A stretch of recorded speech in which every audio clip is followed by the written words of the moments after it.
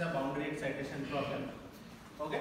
Uh, okay. You start exciting. So uh, before that, so when we start exciting, so that that's basically a motor. It's just designed by in the department itself. So this motor is variable in nature. So what we will do is we'll start the motor at very slow speed. So which means the frequency of vibration will be very slow, and from there we will slowly start increasing. So basically at the lower frequencies, you will expect that the string will vibrate something like this. But as it goes to higher and higher modes, you can probably see some of these higher modes also. So since this is much more controlled, you can probably see the higher modes a little better.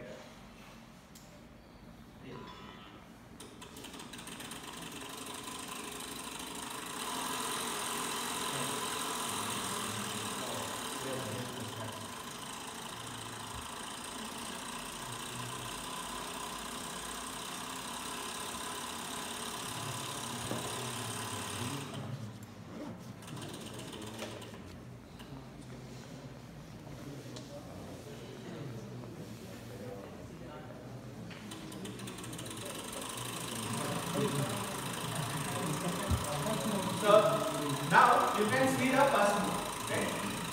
Okay. So all of you can see it, right? So this is similar to this. Okay. Even little.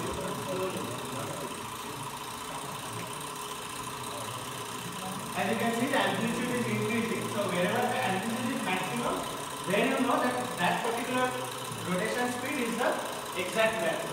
But if it is just showing the first one, it can be anything new.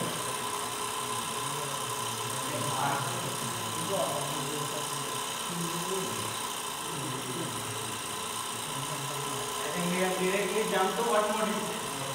Third. And see, we were talking about notes, right? There are when when something vibrates, there can be notes. So here you can clearly see that this is the second mode. Let us keep it here for some time. Not exactly.